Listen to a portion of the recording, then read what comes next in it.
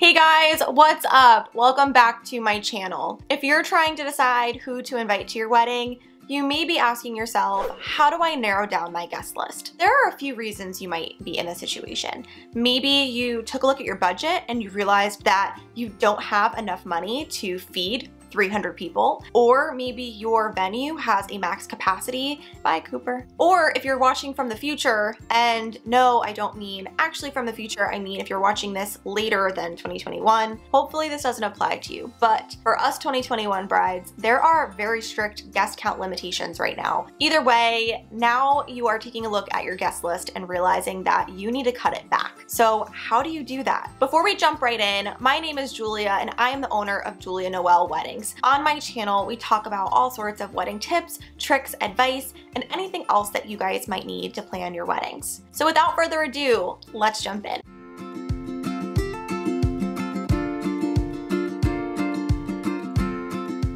So whether your budget does not allow you to have as many guests on your existing list, or whether it's because of a global pandemic, or any reason in between, you need to cut down your guest list.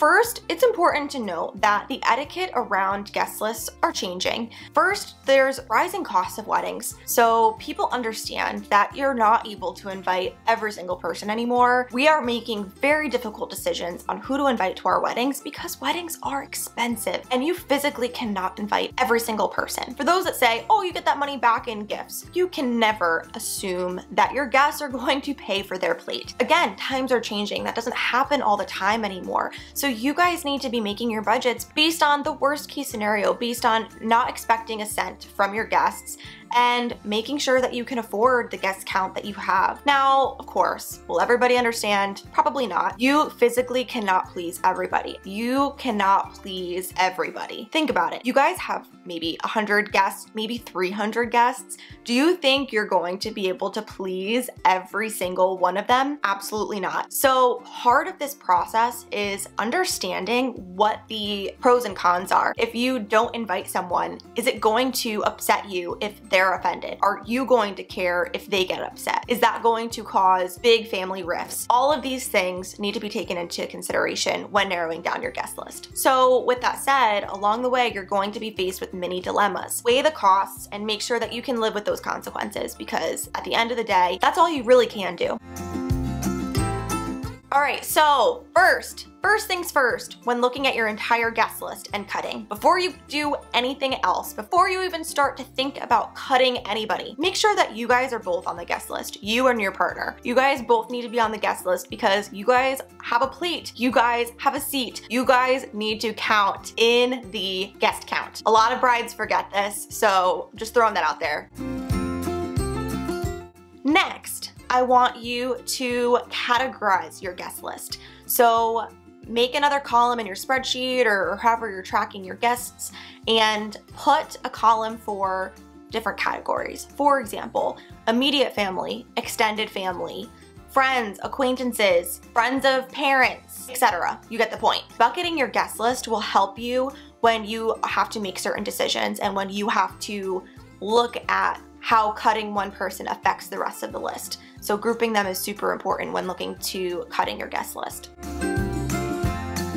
Kids are one way that you can cut the guest list. Now, if you have a kids category and there's only one or two, maybe it doesn't really impact your decision. But if you look at your guest list and 30 kids are on that list, that might be something you can do to make significant reduction in your guest list. Now let's talk about plus ones because plus ones are for some reason also very controversial. And my personal take on plus ones is that they are meant as a courtesy to your guests. Now, think about it if the tables were turned for a second. If you were going to your cousin's wedding and you know all of your other cousins and your family and, and your whole family's there, and your cousin doesn't give you a plus one, you're probably going to be able to have a good time because you still know everybody. You know, it's your it's your family. Now, what if you went to a friend's wedding and you know literally no one and your friend didn't extend a plus one to you? you're going to be sitting alone or sitting with people that you don't know, and that might be uncomfortable for you. You might even decide that you don't want to go because you aren't going to be able to have a good time. So when you think about it that way, you might not need to give a plus one to everybody, but you should be giving a plus one to those that need one. Now, in terms of like no ring, no bring, and like all of that stuff, use your best judgment. You know your family, you know your guest list, and you know who their significant other is or whether they have a different one each week, and you can make that call. Now, exceptions. Of course, there are always exceptions. So keep that in mind too, because you know your family, you know your friends, you know your guest list better than anybody. You don't have to invite anybody to your wedding that you don't want there. So just because we say, you know, cut the plus one or don't cut the plus one, you know what makes the most sense for your guest list. If it was super obvious who you should invite and who you shouldn't invite, then you guys wouldn't be in these types of situations where you're like racking your brain trying to figure out how to cut back. So now that we've kind of talked through some of the ways that you can cut your guest list, let's go through a few questions that you should be asking yourself when you're taking a look at your guest list and trying to cut back.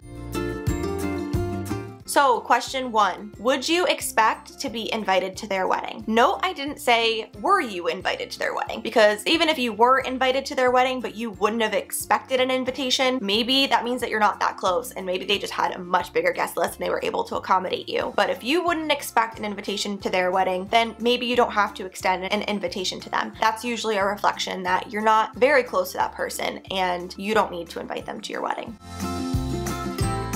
Do both you and your fiance know them? There are some people that have friends that their significant other has never met before. That might be a good rule of thumb to cut back. If your significant other doesn't know who they are or has never met them before, maybe they're not that significant to you as a couple and therefore they don't need a seat at your wedding. That doesn't mean that you're not friends with them, but if they don't know your significant other, do you really need them at your wedding? Does your significant other like this person? Again, you could be really close to them, you could be friends with them, hang out with them, but if your significant other doesn't like them, that might be another way that you can just cut that person off the list. Will they know other guests at the wedding? If you have to make drastic reductions, and I mean drastic reductions to your guest count, especially, you know, if you're having a micro wedding, then maybe you cut someone if they don't know anybody else there, or maybe they wouldn't have as much fun at an intimate event because they know no one else. Also, if you cut them and they don't know anyone else there, you're also saving yourself from having to invite a plus one for them.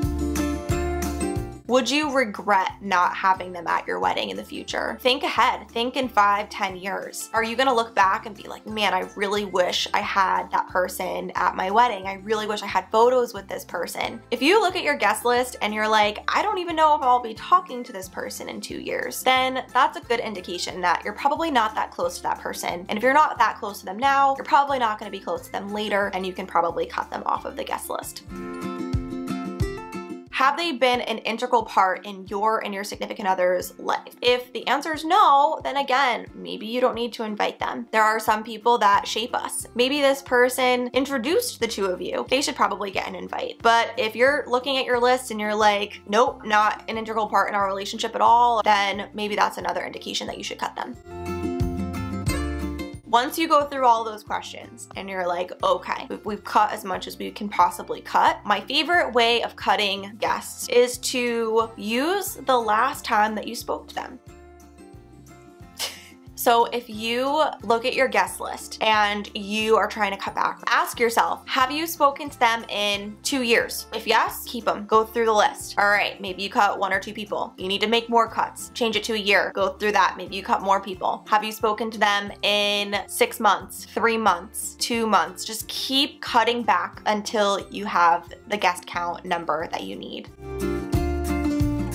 Now, let's talk about the A-list and B-list real quick. A-list and B-list is definitely common. I personally think that if you can keep it to one list, keep it to one list. It just makes it easier. But especially in the pandemic times where we're cutting specifically to get to state and local restrictions, we don't know whether our guest count limit will be 150 people, 100 people, 75 people. We just don't know. And the regulations are changing all the time. So without knowing what that guest number will be by the time your wedding rolls around, you might need to make a few different lists so that you know, okay, I physically cannot make a list smaller than 50 people. So if the guest count limitation is 50 people, I'm rescheduling again. Or you know, okay, if by the time our wedding rolls around, we can only have 50 people, these are the people that we want there, and these are the people that we unfortunately need to uninvite. Now, uninviting guests, definitely not easy, but you have to do it the right way. You have to communicate it gracefully, appropriately. If you guys are interested, I would be happy to share my thoughts on how to uninvite someone the right way, especially because it's really tricky. So if you want to see a video about that, let me know in the comments. Tons of thoughts on, on how to do it appropriately. Um, I've also seen a lot of people that have done it in a poor way. So, I mean, I can tell you also what not to do because let's face it, if you're in the position where you need to send on invitations, you're probably stressed, you're probably freaking out, and you're probably not thinking that you have to do this a graceful way and you're just trying to get the word out because you are trying to fix the situation and, and move on from this. But you have to do it the right way. So let me know if you want some tips and tricks on that and I'd be happy to share it with you guys in an upcoming video. All right, that's all for today, guys. I hope that was helpful for you if you're trying to narrow down your guest list. And if you want to stay in touch with all things weddings, please like this video and subscribe to my channel. I put out new content each week and I can't wait to share more wedding tips, tricks, and advice with you all. Until next time, happy wedding planning.